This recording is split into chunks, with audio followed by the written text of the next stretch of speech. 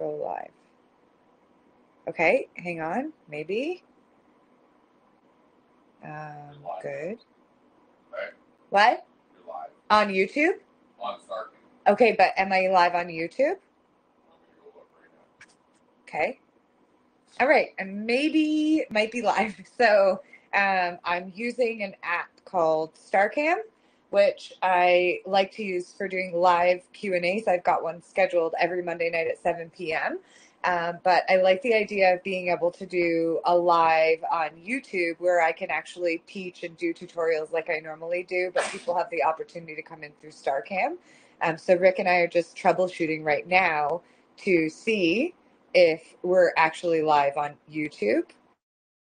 I think I'm also talking. Okay, this is better now. So for a minute there, I was just talking and my headphones weren't on, but now they are. Um, so if you happen to be seeing this in StarCam or on YouTube, bear with me. We're just doing a little bit of testing right now. I do have bread to bake. Um, gonna do it in just a minute, but let's just see if this is gonna work. So good. End stream. It looks like it's good. Looks like it's going on YouTube, I think. It is? Okay, good. Okay, so we are live on YouTube and live on StarCam.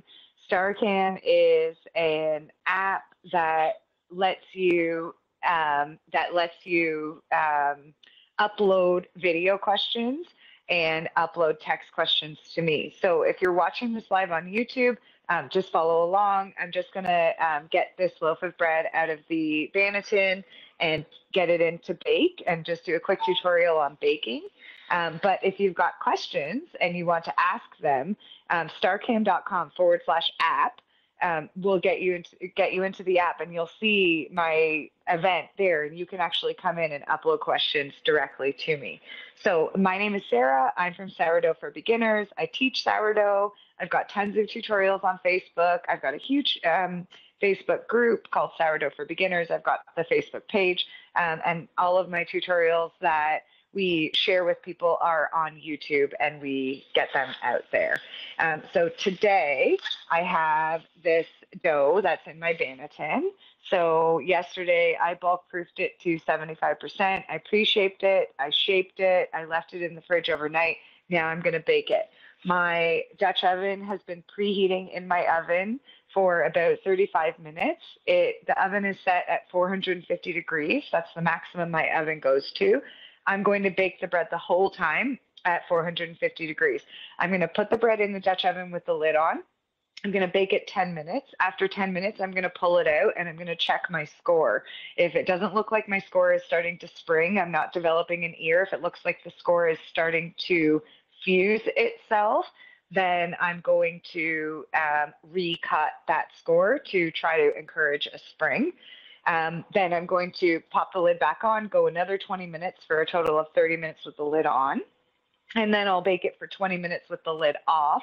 And at that point, I will use my trusty meat thermometer to check the temperature and I will bake the bread until it's 205 degrees Fahrenheit. Now I need to hustle a little bit and get this bread in because we're going to have slow cooked pulled pork today and I need at least three or four hours to bake that. And I would really like to have supper ready exactly at six o'clock. So I'm just going to turn my camera and show you what I've got. So I've got a piece of crinkled up tin foil. I put this in my Dutch oven underneath my parchment paper. Um, and I find that this just lets some air move around underneath the dough and keeps the dough from getting too crispy on the bottom.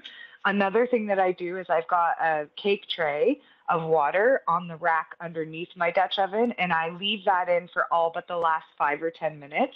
And so the combination of the cake tray of water and the tinfoil under my parchment paper in the Dutch oven keeps the bottom of the bread from getting so crusty that you can't cut through it. I've got my timer. I've got my dough and my Banneton. These are silicone Bannetons that I got off of um, uh, Amazon. If you're interested in what where I got them and everything else, just comment on the video. I'll get a notification and I'll reply and put that link in for you. And I've got a piece of parchment paper. So what I'm going to do first is let me just make it make sure you guys can see. So I'm just going to take a little bit of flour rice flour works great. I'm just using regular all purpose. Rice flour is pretty hard to find um, in my neighborhood. I found, I've tested with rice flour. It does make your bread look nice. It stays a little bit whiter than all purpose, but, but I just use regular all purpose to both um, layer the parchment paper as well as um, put on top of my loaf for that aesthetic look. So I'm just going to um, fold my Banneton back like this. And here's my bread. So when I put it into cold proof, I have it steam up, I sewed it up. Um, I do find that with these silicone bannetons, sometimes you have to do a little bit of work to separate the dough from the edges. But when I put the dough in the banneton, I do put a lot of flour in just to keep them from sticking. So with traditional bannetons, you've got a um, a layer of um, fabric in there that you flour up. But with these silicone ones, you just need a little bit of extra flour to make sure that they don't stick to the bannetons. So we're just going to peel this loaf out. It should just pop out. If it wants to stick a little, that's fine. Just get it out. So here we go.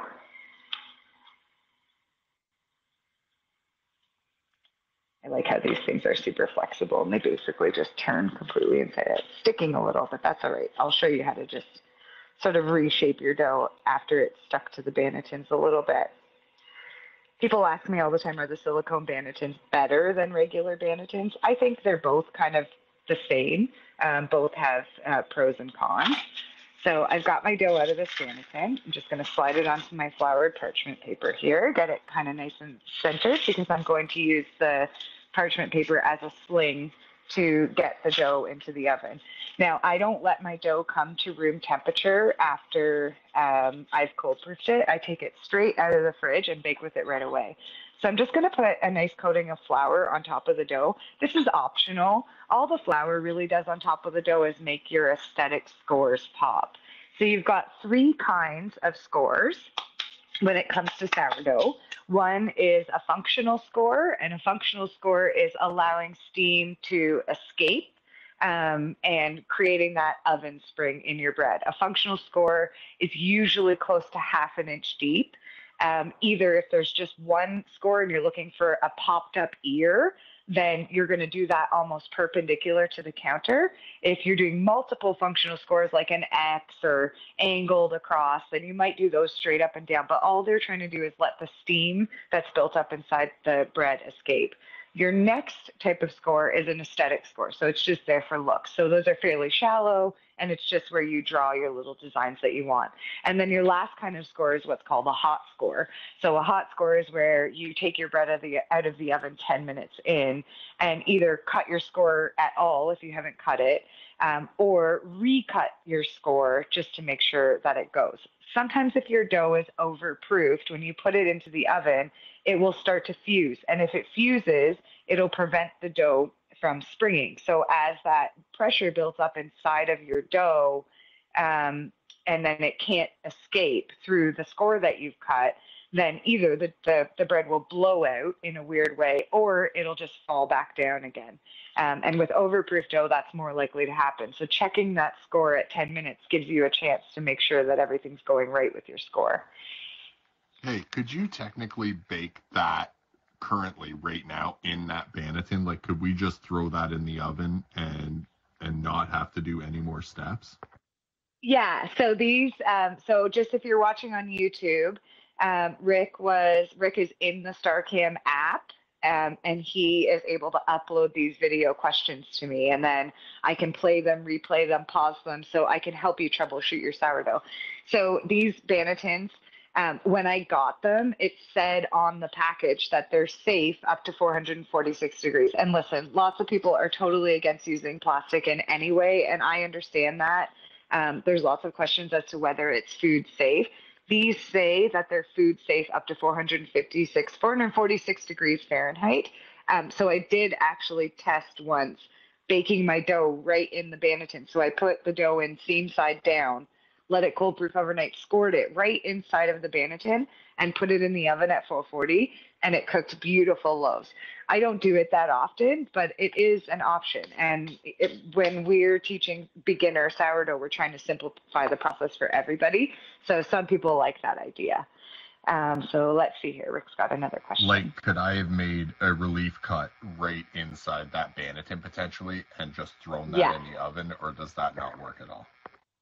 Yeah, no, it works. The difference is, um, so if you're using the Bannetons just for cold proofing, when you shape your dough before you put it in the Banneton, usually you're putting it seam side up so that when you flip it out of the Banneton, you've got sort of the top side, uh, the pretty side of your bread facing up. And, and Bannetons put these nice lines on and everything else, right? Um, if you're planning to bake right in the silicone Bannetons, then put the seam down and then pull it out and just um, go ahead and and bake it right in there. So I'm going to do a functional score and an aesthetic score so that you can see the difference. Okay. Um, with these oval Bannetons, I like my functional scores to go diagonal across. I find it just maintains the shape of the bread better. So these scores that I'm about to do are going to be about a half an inch deep. So here we go. So we'll just do four of them across here. And with my functional score, it's almost always a fairly straight line, but I always cut them a second time like this. Right? So these scores are deep, and their purpose is to allow the bread to pop open. So when this bread goes into the oven, it's quite flat and small, but it builds up. Whereas a decorative score, so if I just turn my dough and do like some wheat ones. These are just light and they're really just there for aesthetics. They also let steam escape. They are also contributing to the oven spring of the bread, but they're more for aesthetic and so they're much shallower. So I'll just cut these sort of wheat um, stalks into here. There we go. Now I think um, YouTube comments. Done. Okay, cool. So if you're watching this on YouTube, I think the idea is that I can see your comments as well if you make some. Um, so feel free. So when I do these lives, I do these lives on Facebook all the time, and tons of people come and they're really interactive and fun, and people ask their questions. Sometimes they ask so many questions that I can't necessarily get to them. And so then that's what's transitioned me into StarCam because it lets me get to each one one by one and actually hear the question, see what the person is trying to say. A lot of times people on StarCam will show me their dough, show me what they're working on. Um, so anyways, I'm just doing this live today because I'm baking anyway and I want to get this app tested on YouTube. So here we go. My dough is scored. Beautiful. Check it out. I've got deep functional scores and shallow um, aesthetic store, scores. And I'm going to get this bread into the oven. So I'm just going to pull my hot Dutch oven out. Excuse me. And remember, I've got a tray of water on the rack underneath the Dutch oven. That contributes to keeping the bottom of the loaf quite soft. I'm also going to put this piece of crinkled up tinfoil in the bottom of the Dutch oven, and it just sort of creates an air barrier for the bread that also contributes to keeping the dough soft. So I'm just going to use my parchment paper as a sling and drop it into the Dutch oven. So I'll just show you really quick. So it's just sitting in there, ready to go. I'm going to pop the lid on, and I'm going to get it in there. My oven's maximum temperature is 450 degrees, so I just bake at 450 degrees the whole time. I always tell people to never go by time. I can give you a guideline of how things, how long things are going to take. So I'm just setting this for 10 minutes right now. And after 10 minutes, I'm going to check that score. And if I need to, I'll recut it. In fact, I usually always just recut it no matter what. Um, I can give you a guideline. It should take somewhere between 45 and 70 minutes to bake your sourdough. But what you want is your sourdough to get to temperature. okay, so say I was watching this event on YouTube and I noticed I wanted to be able to upload a video of my dough or my starter or whatever process I was in at the baking um, at the time. Could I just jump into StarCam? Like I could exit and jump into StarCam and upload some video questions? Yeah, so starcam.com forward slash app. If you type that into any browser, it'll automatically open whichever app store you're on on your phone and you download the app. And then once you've gotten into the app, they have what's called a carousel. So all of the lives that are set up are sitting there in the carousel. So live that's actually happening right now will come up first. So if you were on YouTube and wanted to switch into StarCam right now and try it out, as soon as you got in there, you would see Sourdough for Beginners is live right now. There's still time. Come in, and you just get in there. You push, and you'll, and then you're in here, right? Um, but you'll also see in the carousel uh, lives that are scheduled. So I've committed to going live every Monday at 7 p.m. Eastern time on StarCam. And I, I'm not actually teaching any tutorials. I'm just sitting there available to answer questions for people. We did one last night. There was a ton of people in there. The, the questions were queuing up, and I was able to look at the question, replay it, pause it, go through it, and actually give this one on one help to people. So once you're in the app, you'll see the one that I'm doing right now and be able to get in, but you'll also be able to see the ones that I have scheduled and hit register for them.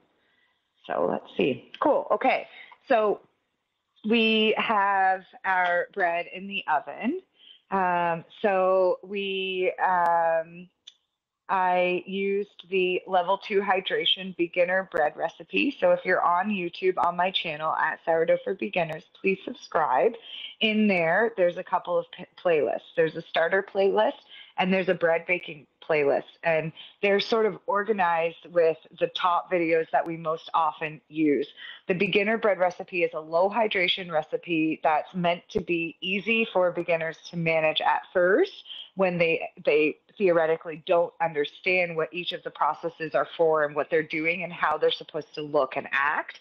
And then we've got the level 2 hydration which is when you're starting to get a good feel for what the essential processes are. You're starting to feel comfortable, and now you want to start getting less dense bread, more airy bread. Um, so in most cases, for me, I mix the higher hydration because it's it's fluffier and lighter. Um, so the beginner bread recipe makes two loaves. It's 60 or sorry, 120 grams of starter, 680 grams of water, 1,000 grams of flour, and 20 grams of salt. The level two hydration is still the 1,000 grams of flour and the 20 grams of salt, but it increases the starter from 120 grams to 200 grams, and it increases the water from 680 grams to 70 grams. With that mix, you can use any flour you want. You can use basic bleached all purpose flour, um, or you can add the sturdier flours.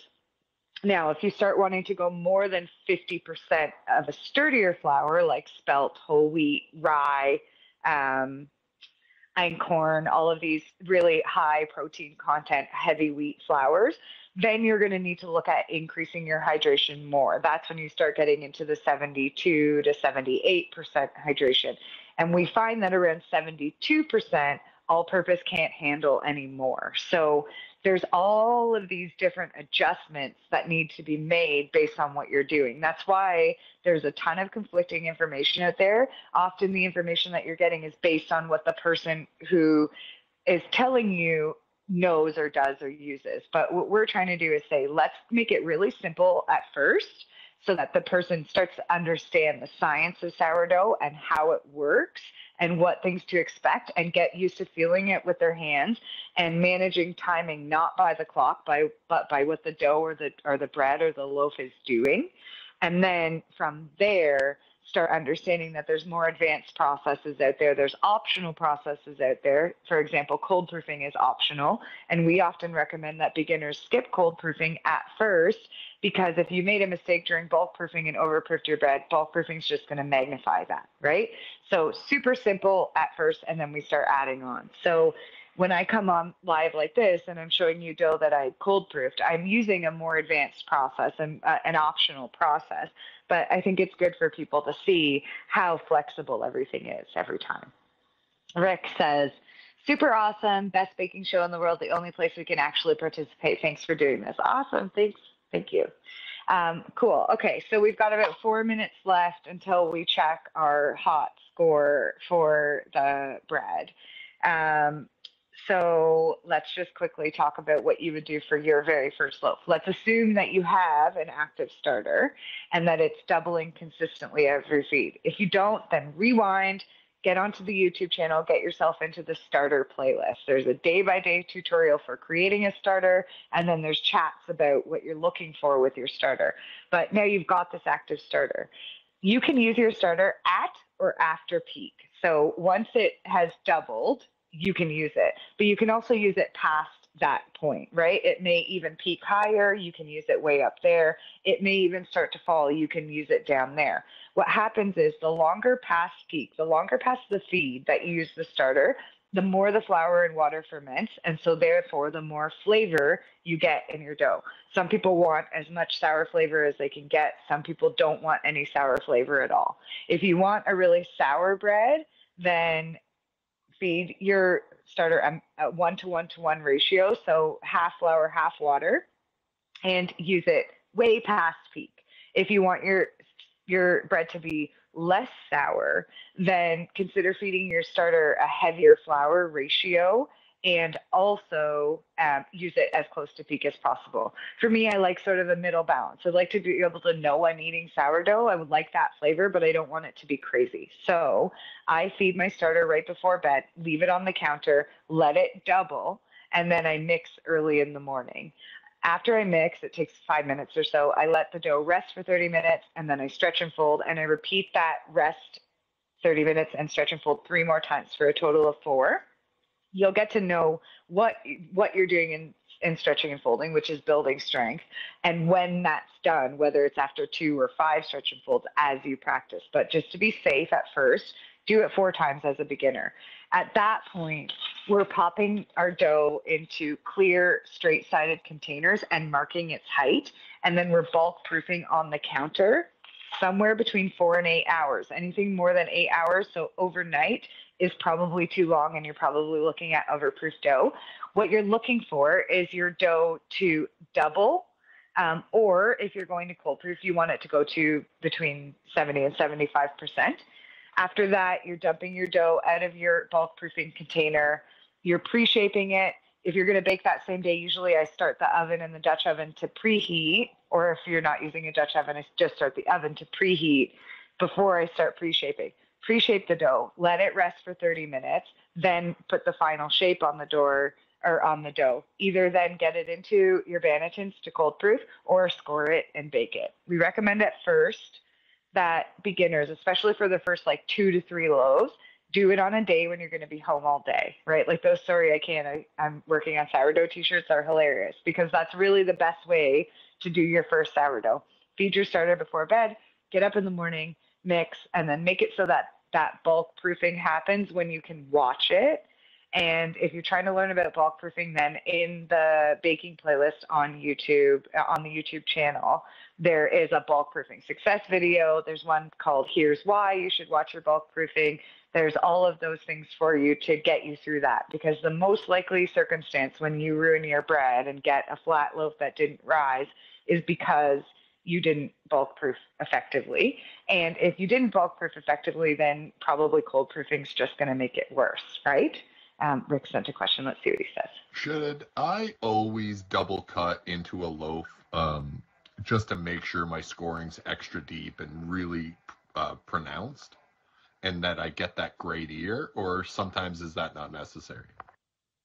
Um, I don't think it's necessary. What you really want is just to make sure that you have a cut in your dough that's half an inch deep. So if you've got a really sharp razor and it does half an inch on the next or on the first swipe, that's good. If you want, if you're doing a round loaf and you want that ear that you see in the pictures, you need to cut your dough almost perpendicular or almost parallel to the counter. So my time is just going off. I'll show you this hot score in one second.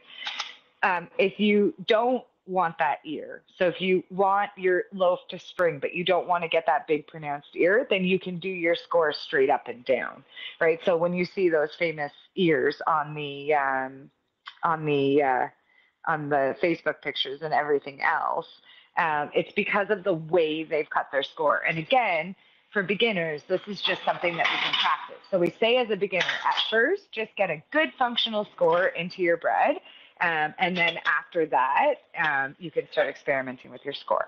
So if you look at this bread right now, and I can only hold this Dutch oven for so long before it burns me. So let me just point this downwards like this. So this bread is holding its its score. You can see that the scores are still deep and they're even starting to open up a little bit, right? This bread is not having issues with holding score. I'm just going to get it back in and reset my my timer and explain what that means. One sec. These Dutch ovens are so heavy. Um, so that bread is holding its score. It doesn't need to be recut. Now, if I had pulled that bread out and those scores, like if you saw, they those scores were shaped like a V. So the cut that I had put there not only had stayed as deep as I had made it, but they're starting to open up. That's a really good indicator that this bread is going to spring, right? I knew this bread was probably going to spring because I properly proofed it yesterday and I cold proofed it overnight, right? Um, so I was just gonna fill it you. Oh, okay. Um, so we so we know it's okay, but it's good to understand that if you know that you've overproofed your dough, um, you can do this hot score 10 minutes in to try to get um, try to get it to spring properly. Greg's got a question here. Hi, Sarah. Great show. Uh, lots of information. I'm learning a lot here. Um, my question is, I, I, I'd like to know, can you make a, a swirl bread? Like I, I buy this uh, at the store. I buy this uh, that's part pumpernickel and, and part rye or something else. I know pumpernickel's like like rye, but I feel like it would be kind of cool to do sourdough and rye or sourdough or two types of sourdough. Like you know what I mean by how they make. Yeah. I don't even know how to do it. I'm asking you. How do you do? Yeah. How would you make the swirl bread with sourdough? So so you can actually make um, sourdough rye bread and sourdough pumpernickel bread. So all bread has a rising agent, right? Um, sometimes it's yeast, which you just buy like um, you know, like Fleischmann's makes it, right? So this is just like regular quick rise yeast. You need to have yeast in order to get a bread to rise. All a starter is is a wild yeast, a fermented yeast that you've created yourself. So you can create a rye bread um, using all rye flour. So you just use your regular sourdough starter and do all rye flour. All rye flour is a little harder. You need a lot more hydration to do it. And then same thing, all pumpernickel is. I told that you might find this interesting, Greg. Um, all pumpernickel is is regular sourdough with um, some molasses and some cocoa added. Believe it or not. And then there's a there's a seed um, that they add. Hang on, let me see if I can find it. I have it. Um, I forget. They're not called. They might might be called fennel. I can't remember what they are, but I wonder if I can find them.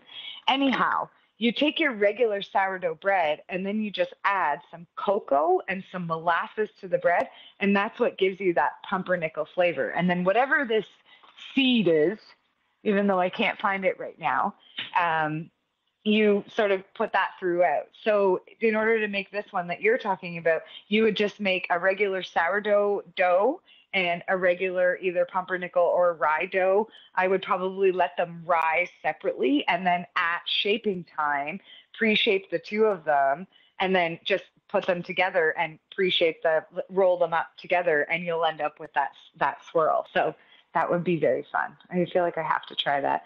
Rick's always telling me, you used to make me bagels and you have to try this and you have to try that.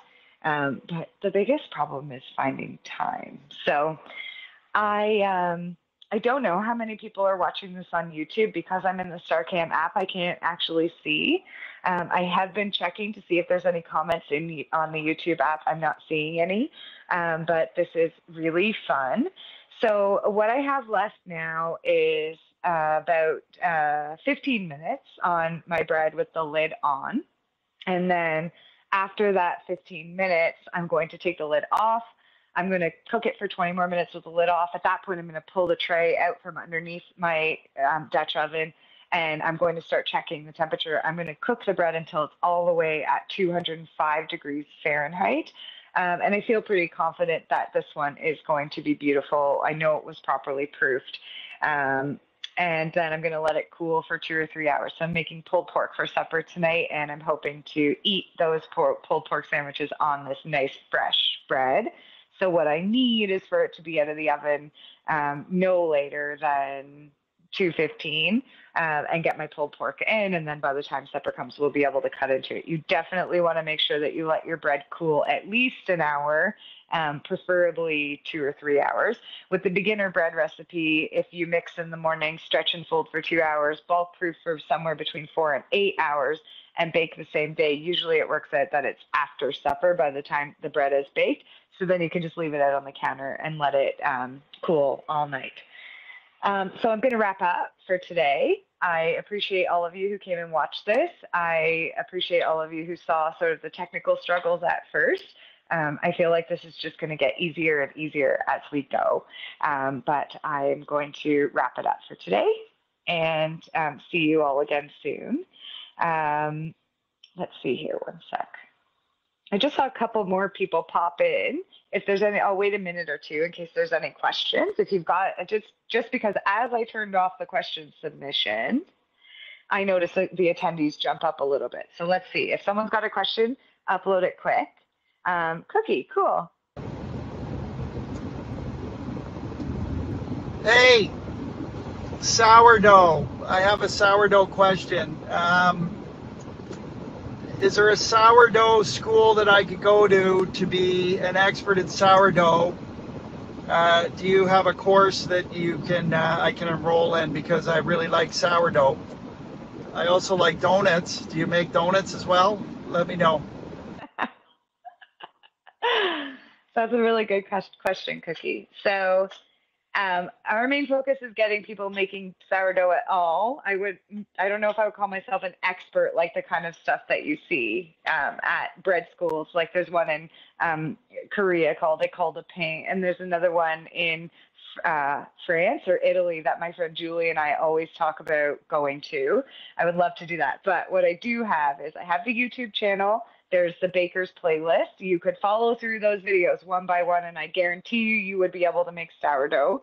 Um, I the best thing you can do is get somebody to gift you a starter. Um, so if you knew someone who had sourdough starter and you got some from them, you'd be able to start baking right away. But if not, go into the starter playlist. You can make your own starter. Um, I also I do sell private um, private uh, virtual training. Um, it costs a couple hundred bucks, but the way I see it is that within a day or two, um, I can get you set up and baking almost perfect sourdough. So that was a really good question. All of those things are linked um, everywhere on all of my pages. So sourdoughforbeginners.com has all my books and that one-on-one instruction, and you can get the dehydrated sourdough there or sorry, the dehydrated starter, everything you could need. And then of course I've just got endless video tutorials. So that was a great question. All right, I'm going to wrap it up for today. Um, 12 minutes before I take my lid off. If you want to see the whole baking process, then go on YouTube and see all of those tutorials that are there. For all of you who